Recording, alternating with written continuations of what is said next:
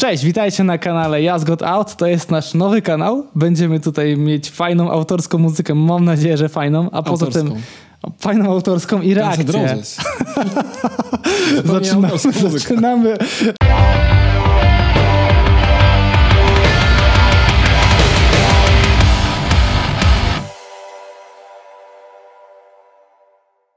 Zaczynamy od właśnie reakcji.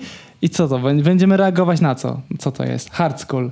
Hard School. Kto to może być? Hard School. Kto, to kto może- nazywa tak swoje utwory? Guns N' Roses e, wracają do nas po dłuższej przerwie. E, Oni tam mieli jakiś kawałek wcześniej, nie wiem czy słyszałeś go.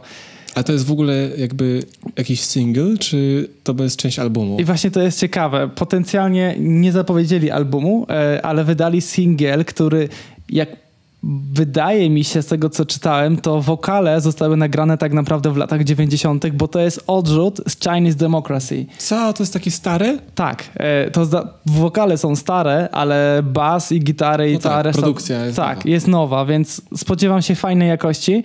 Wokale wiem, że są nagrane stare, więc potencjalnie możemy spodziewać się fajnego Axla właśnie z lat 90.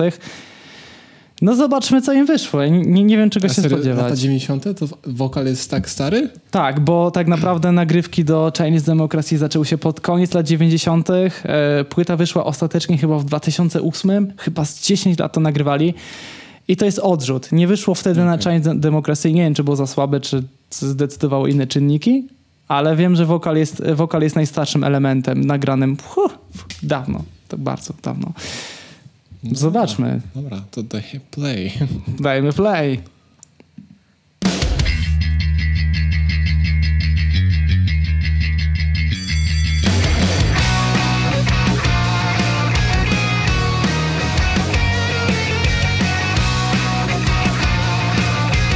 Trochę jak Green Day. Trochę jak Green Day. Troszeczkę tak, ale z drugiej strony miałem to skojarzenie, że no ej, slash.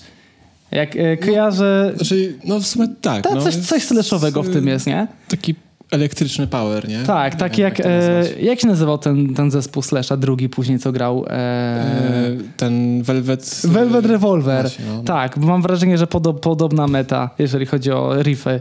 No, Okej. rozpoznałbym Gunsów w tym. Fajnie brzmi nowocześnie, nie? Tak mam takie Okej. wrażenie, Czuję nowocześnie. się jakbym był w szkole, przez Czuję dzwonek zwłaszcza. W ciężkiej szkole, hard school, przypominamy. Hard school. Jedźmy Przejdę do klasy. Dobra.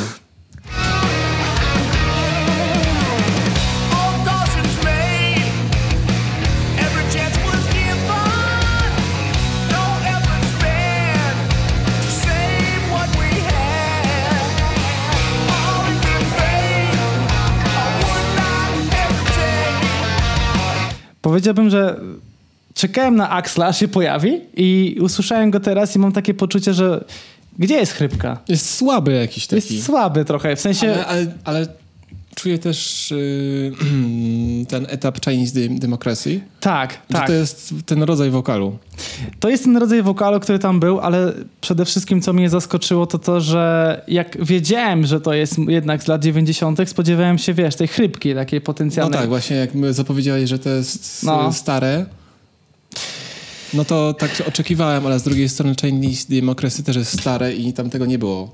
Były takie momenty, ale przeprocesowane Może, maksymalnie. może gdzieś dalej będzie jeszcze. E, Mam nadzieję, bo wydaje mi się, że z tego co czytałem, to dużo osób było zaskoczonych pozytywnie, ale no słabo. Wokal, wokal słabo, No, moim zdaniem tak, słabo. Tak, no. Wokal taki, słabo. No nie wiem, no. Ale przynajmniej czysto. Zawsze coś. No tak, no Zobaczmy. w studio Z autotunem nie mogło się nie udać. Nawet mi by się udało. No to dalej. Zobaczmy.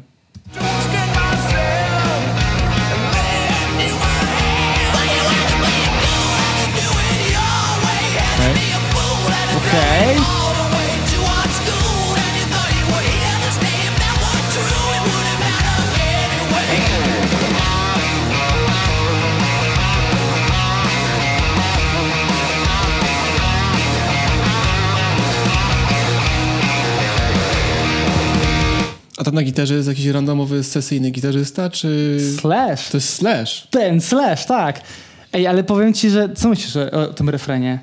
Wo wokalu mam na myśli tutaj, bo Był lepszy trochę, ale No. trochę lepszy, nie? I tyle. Trochę lepszy, ale mnie Musiałbym to... chyba więcej razy przesłuchać, bo tak na pierwszy rzut oka to już powiem ci, że już nie pamiętam. to też dużo o tym mówi. A ale wiesz co, mam takie wrażenie, że no, ta, czy ta ikoniczna chrypka się pojawiła na chwilę Jest, przynajmniej. Ciekawe, w sensie fajnie, że jest, e, ale jakieś tak, nie wiem, pod względem melodycznym takie mało zapamiętywalne. No tak, no. Powiedziałbyś, że właśnie minął refren i coś powtórzył z niego, bo ja tak No ja sumie nic. czekam na to, że coś będzie jeszcze dalej. W sensie czuję, że to jest build-up jakiś wciąż, że to nie jest max. Zobaczmy, tak mam nadzieję. Jak w telewizji. Skoro, skoro mi to sprzedajesz, to Jakbym kurde coś z tego miał. Zobaczmy, zobaczmy. program nie jest sponsorowany. Jest w ogóle nie, Guns Roses- Roses nam nie płaci za to, to jest myślę oczywiste, chociaż tam wie, czy Nieoczywiste. wie w sensie. wolno przeklinać? Nie wolno.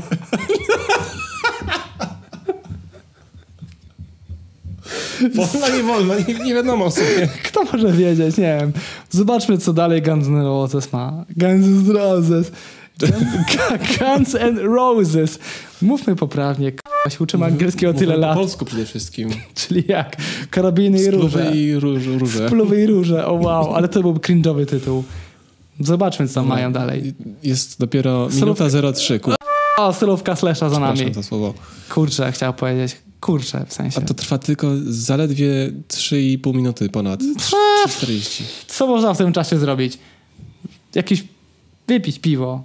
Odgrzać, odgrzać kotlet. Dobra. Odgrzać kotlet. Zobaczmy, co tam się dzieje.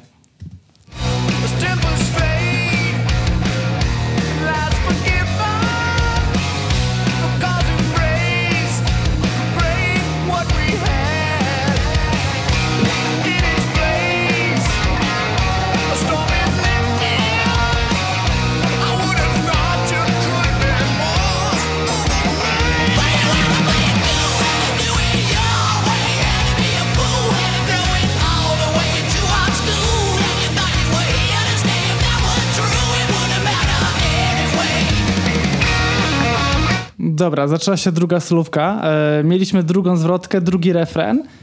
I co, ja mam, ja mam takie poczucie, że ta zwrotka, ta melodia taka słaba na początku, troszkę z angielskiego rośnie na mnie. Nie wiem, jakoś poczułem, że tym razem siadło lepiej. E, trochę tak, ale z drugiej strony jest więcej tego samego. Może dlatego po prostu, że, Powtarzalne że, jest że, że się ten, zapoznałeś jakby z formułą i, i, i No, to bardziej. może to o to chodzi trochę, nie? Że Może. Im Teraz będzie druga znasz. solówka i będzie jeszcze fajniejsza przez to, że była pierwsza. Nie wiem. Może na początku dali taką słabą, żeby potem taką drugą rozwalić po prostu. Znaczy, Będzie trzecia? kurde, za krótki kawałek chyba, ale jesteśmy dopiero w połowie. No nie wiem. Na razie Ale ogólnie wrażenie. jestem dalej w, w takim etapie jakby oczekiwania wzrostowego, ale oczekiwania. W Czyli oczekiwania. Nie czuję jeszcze tego wzrostu. Okej, czyli jakbyś miał pewne oczekiwania przed rozpoczęciem kawałka, nie zostały jeszcze zaspokojone. Nie. A ja mam takie poczucie, że miałem super niskie oczekiwania wobec Guns N' Roses i jakby na tym etapie głównie przez chrypkę e, w tym, we, w refrenie czuję, że no kurde, Ja nie miałem Not oczekiwań. bad. Nie wiem, czy można powiedzieć, że to są lepiej. niskie oczekiwania, ja miałem takie, skoro nie, ma, nie było żadnych. ja miałem bardzo niskie Nie i wiedziałem, że to istnieje w ogóle. no ja w sumie też nie. Kiedy to wyszło? Niedawno, parę tygodni temu, cztery tygodnie temu. Czyli jeszcze we temu. wrześniu, październiku? No jakoś tak, świeżutkie, świeżutkie główne. Znaczy, tak jak mówię, no część wokali nagrana dwie dekady temu, więc dawno w. Zobaczmy, co się dalej wydarzy. Okej, dobra. Zobaczmy.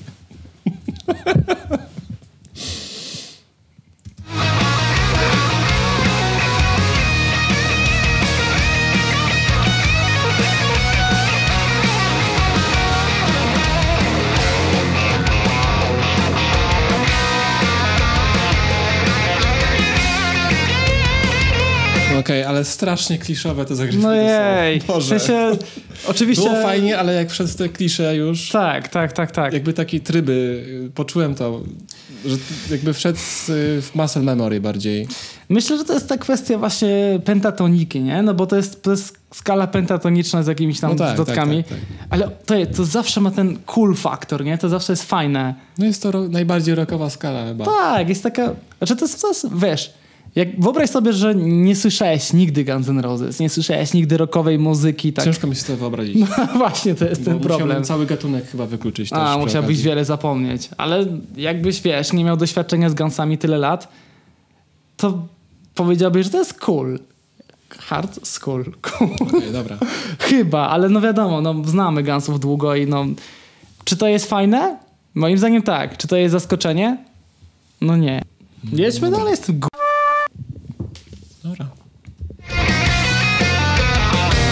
O, to było fajne, czekaj, aż przewinę. To była, to była chyba najlepsza część solówki. Za mało.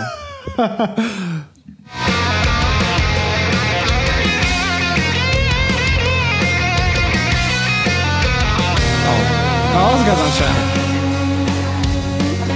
O? To jest coś, na co czekałeś.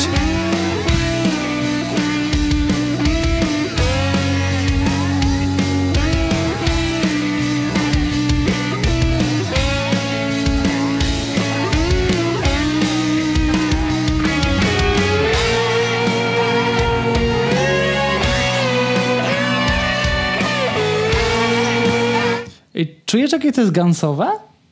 Ja mam takie poczucie, że kojarzy mi się to z jakimś November Rain troszeczkę. Jest jakby pod względem struktury, No, ale, no, no. ale są tam takie patenty jakby, których nigdy nie mieli. Tak, też myślę, że to jest Takie jakieś nowoczesność. Flangerowe, jakieś dziwne ambienty w tle. Tak, no myślę, że ostatnia jakaś tam znana płyta Guns N' Roses w pełnym składzie, mam na myśli prawdziwe Guns N' Roses, no to jednak co? E, Use Your Illusion 2 z 91 No to czy drugiego? To jest, kurczę, no mamy 2021 rok, to jest jednak tak dawno, że i co dla mnie jest takie, kurczę, zasługuje na pochwałę. Minęło tyle lat, a jakieś tam elementy, powiedzmy, stylu są wciąż rozpoznawalne. I myślę, że szacunek za to, bo to jest coś, co jest trudne do zrobienia.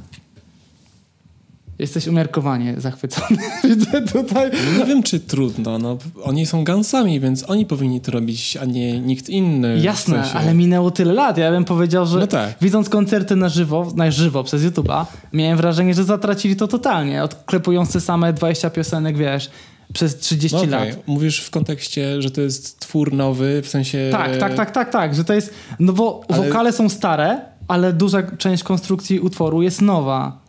Mhm. To, to mnie zaskakuje, że słyszę No tak. paterny, które znam. W sensie fajnie, fajnie, bo myślałem, że po prostu No okej. nowi gasi się rozmyją Wiesz, wreszcie, pytanie wiesz. jest takie, czy to właśnie o co im chodziło, nie? W sensie, czy to miało być takie nawiązanie do old schoolu, hard schoolu, nie wiem jak to się nazywa, tak.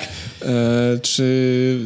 No pewnie tak, skoro wykorzystali wokale, które były nagrane kiedyś tam dawno A, temu. Też, co jest martwiące, czemu nie nagrają nowych? W jakiej kondycji obecnie jest Axel? To jest... O, chyba nam światło padło.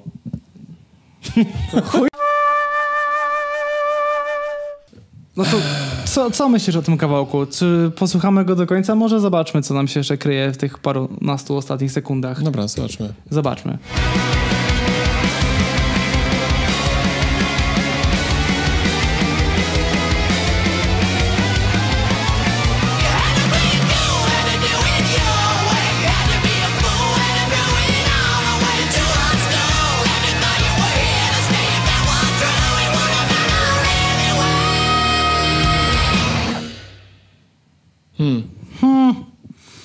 No, co, co ja mogę powiedzieć? Ja jestem, wiesz, e, jestem fanboyem Guns N' Roses i krytykuję ich koncerty na żywo, kiedy widzę właśnie Axla, który, wiesz, e, legendarny głos myszki Miki w stylu ale tutaj, tutaj tego nie ma. No to są stare wokale oczywiście, ale no co, siadło mi. Podoba, mi, mi się podoba. No po prostu mi się podoba. Produkcja Co, dopiero- fajna, nowoczesna. Dopiero drugi raz to słyszałeś? Tak, słyszałem to drugi raz. Za pierwszym razem miałem wrażenie, że po pierwsze, nowoczesna produkcja, fajnie podkreślony bas. Naprawdę, jeżeli chodzi o low end, spoko to siedzi. Nie no, produkcyjnie jakby nie ma się czego czepiać, bo to jest No dokładnie. e, produkcja z bardzo wysokiej półki przynajmniej. To już jest duży plus, nie? Bo to jakby mogło być różnie. Tutaj powiedzmy, że bierzemy to jako granted, bo to jest Guns N' Roses. Mają pieniądze. Powinni tak, powin, to Ale powinno być właśnie, w standardzie. To jest ciekawe. Niby jako Guns N' Roses, ale Guns N' Roses tak naprawdę w XXI wieku niewiele wydali. Pod szyldem jeszcze z, ze Slashem i z Duffem McKaganem. To, No tak. to jest praktycznie chyba pierwsza rzecz. Mieli wcześniej jeden, e, kurde, Absurd się nazywa, Absurd. Ich kawałek, który jest, nie mogłeś go nie słyszeć, jest A to jest tragiczny. w ramach albumu jakiegoś, czy to po prostu też randomowy wrzucony singiel? Okazuje się, w sensie wrócili, wrzucili to jako singiel, ale okazuje się, że planują mini album, gdzie będzie właśnie ten kawałek, ten Absurd, nie polecam specjalnie i jeszcze parę nowych rzeczy, które mają być ponoć nowe, więc zapowiada się nowa płyta Guns N' Roses, pierwsza od, kurczę, bardzo, Okej. bardzo wielu lat. Ja jestem super ciekawy, e, zwłaszcza kondycji Axla, bo jakby w Slasha i Duffa wierzę.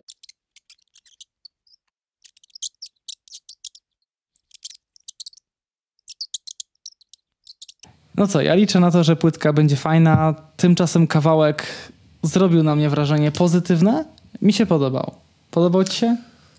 Można powiedzieć, że nie jestem negatywnie nastawiony. Czyli Że- tak, tak ne- neutralnie. Mógłbym to przesłać jeszcze raz, żeby zweryfikować może coś, albo w ogóle Okej. sobie, nie wiem, utrwalić.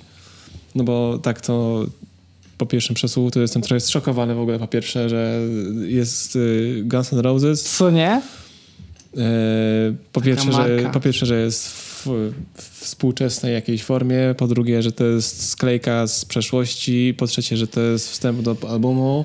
No właśnie, dużo. to jest y, takie, nie wiem, no Tak, tak, tak. nie tak. wiem co to jest w ogóle. Wiem, co masz na myśli i myślę, że kolejna, jak, jak wyjdzie ta płyta, to nam się troszkę wyjaśni. A tymczasem co? Myślę, że fajnie, że nam się udało tego odsłuchać. E, Kawałek ogólnie moim zdaniem na plus. Tutaj zdania są ogólnie podzielone, ale myślę, że kolejna płyta jak się pojawi, to też będziemy w stanie ją odsłuchać i chętnie podzielimy się swoimi wrażeniami, więc tymczasem wielkie dzięki za e, obejrzenie i bądźcie z nami do kolejnego e, odcinka, gdzie będziemy coś innego pewnie oglądać. Mam Dużo nadzieję. to mówi, Mam nadzieję, że coś zupełnie innego. to będzie coś całkiem innego. Jeszcze nie wiemy co, ale na pewno będzie inne. Więc stay tuned. Do zobaczenia. Bon voyage. Bon voyage.